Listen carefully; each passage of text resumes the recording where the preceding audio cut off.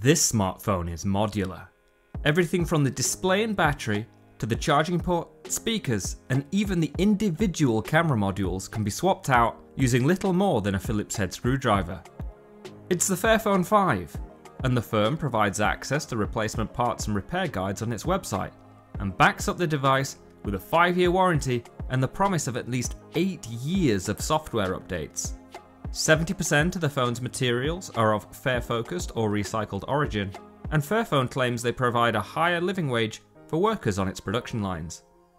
It's priced at £649, which does seem like you're paying a bit of a premium for those eco conscious credentials, but what do you think? Would you pay a little extra for more ethical tech?